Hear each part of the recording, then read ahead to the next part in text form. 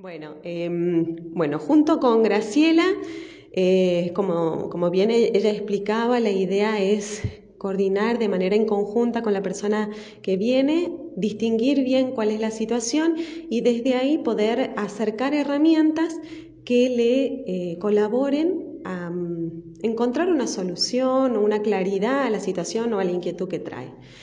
Yo particularmente hago el aporte desde el movimiento, desde el cuerpo, respiraciones, visualizaciones, meditación, em, eh, actividades creativas. ¿sí? La idea es, ofrecer o poner a disposición todas estas herramientas para que de manera conjunta encontremos el camino para, para salir, seguir, ver o tener más claridad.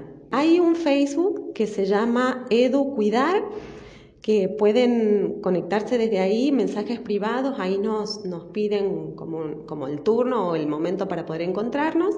Si no, nos pueden escribir al correo eh, cuidar al que cuida, hotmail.com. Em, y si no, pueden acercarse al área en horario de tarde. Lo más efectivo son las, las, dos primeras, el correo y, y el Face, porque es como más, más rápido. Pero bueno, también está la opción del área.